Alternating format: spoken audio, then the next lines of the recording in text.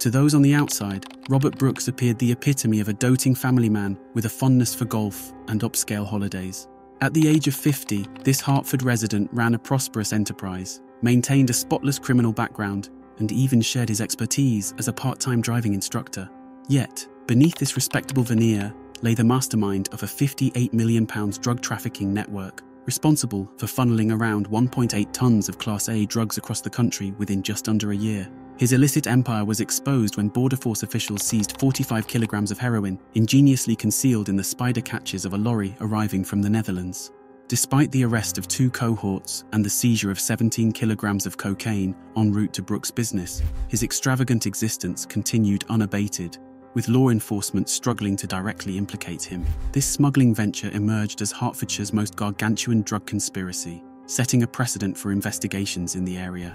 Brooks' empire crumbled due to a seemingly trivial oversight, leaving law enforcement in disbelief. Welcome to the Pursuit of Perpetrators channel, where I unravel the veiled tales of cryptic crimes. On the 20th of August 2019, Border Patrol agents intercepted a lorry making its way from Calais to Dover.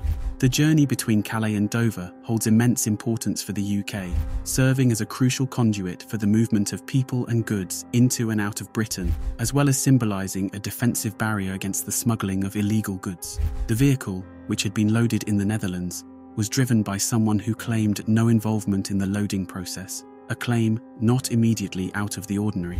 Yet, UK Border Patrol had prior intelligence suggesting this lorry warranted closer scrutiny. During the examination of its cargo, officials uncovered 45 kilograms of heroin, concealed within pallets of spider catches. The discovery pointed to an attempt to smuggle Class A drugs into the UK, valued at over a million pounds, signalling to the police that they were on the trail of a significant criminal operation. Further investigation revealed records of 39 similar consignments previously delivered to a leased facility at Little Samuel's farm in Hunsdon, East Hertfordshire.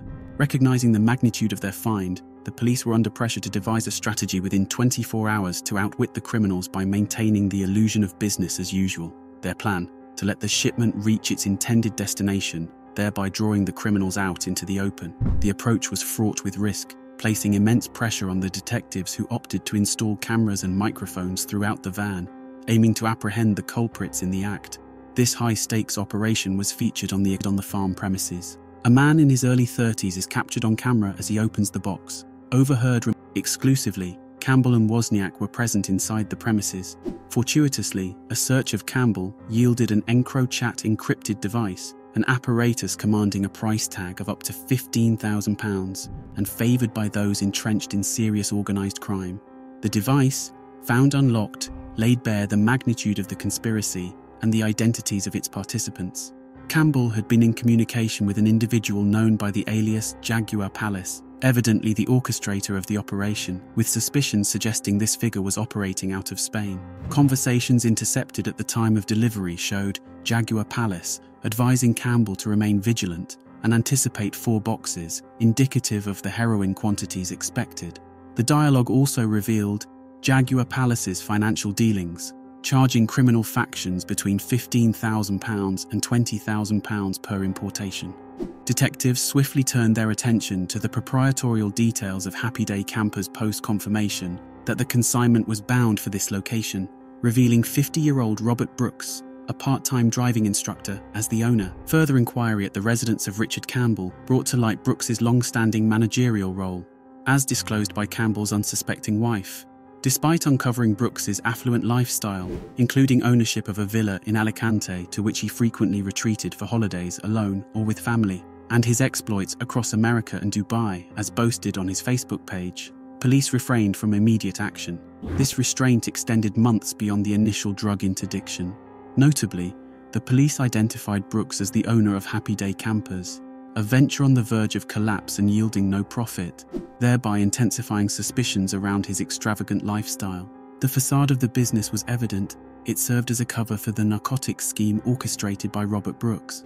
Yet, to secure his conviction, the police required incontrovertible evidence. While the accumulated evidence hinted at his involvement, it fell short of the definitive proof needed for a conviction. Nonetheless, it was Brooks's own oversight that would precipitate his downfall. Within the confines of Happy Camper's industrial unit, a red Ford Fiesta owned by Brooks was discovered. Given Brooks's profession as a driving instructor, the vehicle was essential for his livelihood, and it was equipped with a dash cam designed to activate upon detecting motion nearby. The discovery of this technology didn't come as a shock to the investigators. However, they were taken aback upon finding footage dated August 14th and 15th, 2019. A comparison of these dates with the records of past consignments delivered by the same courier company revealed a correlation with a drug shipment date. This footage not only placed Brooks at the scene on the day of the delivery, but also unveiled the identity of the fourth gang member, previously unknown to the authorities. The individual identified through the dashcam footage was Stephen Capp, a 56 year old former lorry driver from Hull, implicated in the operation as the courier responsible for transporting drugs from the farm to the north of England. The footage revealed telling signs of illicit undertakings. A brand new Audi sports car was seen reversing into the unit, following which the shutters were promptly closed. Such activities bore no resemblance to the operations of a legitimate camper van rental service or the routine practices of a driving instructor. Yet, in the realm of criminal investigations, especially those of this, they monitored Stephen Capp's movements as he transported narcotics from the farm across the northern and southern parts of England. Devers, as police discovered five kilograms of cocaine in a concealed compartment within his car. Distraught, Capp lamented his actions post arrest, acknowledging his grave mistake. This development intensified the scrutiny on Robert Brooks. Aware of the operation at Little Samuel's farm, and likely informed of his principal courier's apprehension, Brooks hadn't anticipated the evidence gathered from his own vehicle. Prior to this, the police had already intercepted a significant drug shipment directed to his business. At the station, Brooks submitted a prepared statement, insisting his activities at Little Samuel's farm were limited to vehicle storage and maintenance, denying any knowledge of the narcotics. He claimed a casual acquaintance with Campbell and described Thomas Wozniak merely as Campbell's gardener. Despite his assertions, the police opted to release Brooks, maintaining discreet surveillance to observe his daily routines, which included leisurely activities and transactions conducted exclusively in cash, without engaging in regular employment. Ultimately, the detectives collated sufficient evidence for Brooks's arrest, marking a pivotal moment that undoubtedly transformed his life. The prospect of facing substantial prison time crystallized the risks associated with his criminal choices. Robert Brooks, who had indulged in a luxurious lifestyle, including international travels and family vacations at a Spanish villa, epitomized the perilous gamble of criminal life. Engaging in criminality trades long term security for fleeting gains, a gamble seldom won. Despite the opportunity to disengage with his illicit earning, narrative underscores the critical juncture at which individuals must choose between continuing down a perilous path or securing their future through legitimate means. Brooks, unfortunately, did not opt for the latter. Engaging in 37 smuggling operations, Robert Brooks faced severe consequences. Amidst the turmoil, he made a poignant phone call to his son from the police station, a conversation marked by a blend of normalcy and despair on his son's birthday. Hello, little man. Happy birthday. It's absurd, isn't it, that you don't get the day off for your birthday? When asked why he wasn't there to celebrate, Brooks offered a fabricated excuse. I'm at work and my phone's in my locker, so I've just borrowed someone else's to use the office phone. The call concluded with Brooks expressing deep affection. All right, listen, I want you to have a wonderful day, and I love you to the moon and back. All right, mate. Speak to you later. Love you. At the trial, it was disclosed that Richard Campbell served as the warehouse manager. He pleaded guilty to conspiring to circumvent the prohibition of Class A drugs and received a sentence of 13 and a half years. During sentencing, Campbell reflected on the repercussions of his actions, lamenting the irrevocable harm he had caused his family, emphasizing that no gain could justify the anguish inflicted. Stephen Capp a solitary figure with scant family connections, was caught in a particularly human moment at the police station speaking to a loved one over the phone. His plea, Don't stop loving me, followed by tears, strikes a chord of empathy, yet serves as a stark reminder of the devastating impact that involvement in serious organised crime can have on individuals' lives. Capp admitted to charges of possessing Class A drugs with the intention to distribute and was subsequently sentenced to nine years and six months in prison.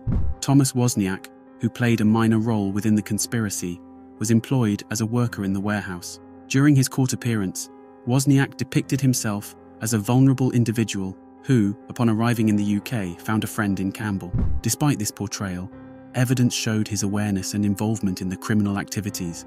Following each delivery, he or Campbell would dispose of the spider catches in the skip outside the warehouse, after removing the drugs from their packaging. This act further implicated him in the depth of the conspiracy, underscoring the consequences of his choices. At the age of 28, Thomas Wozniak acknowledged his part in the conspiracy to distribute a Class A controlled substance and received a prison sentence of six years and three months. However, the net of justice extended beyond the UK borders. Peter Mennessen, aged 50 from Amsterdam, was apprehended by Dutch authorities following a cocaine seizure in the Netherlands, leading to a six year prison sentence in his home country. This outcome presents a noticeable contrast to the 21 year sentence handed down to Robert Brooks in the UK, highlighting the stern stance the British judicial system adopts towards drug smuggling. The disparity in sentencing between Brooks, the orchestrator of the UK operations, and Mennessen, implicated in the Netherlands, raises questions about the international consistency in punishing drug related crimes. The significant difference in the length of their sentences opens a dialogue on the effectiveness and fairness of drug law enforcement across borders. I invite our viewers to share their perspectives on the sentencing outcomes for each gang member and to reflect on the variance in punishment between Brooks and Mennessen. Your insights on whether these sentences are just, too severe, or perhaps insufficient given the scale of their criminal activities would add depth to our discussion. Please leave your thoughts in the comments below. If you found this investigative rundown enlightening, do hit the like button, share it with your friends, and make sure to subscribe to the Pursuit of Perpetrators channel. Don't forget to give the bell icon a tap too, ensuring you stay updated with each new video I release. Your support means a great deal to me, and I'm eager to reconvene with you tomorrow. Until then, maintain that inquisitive spirit and never cease in your quest for truth.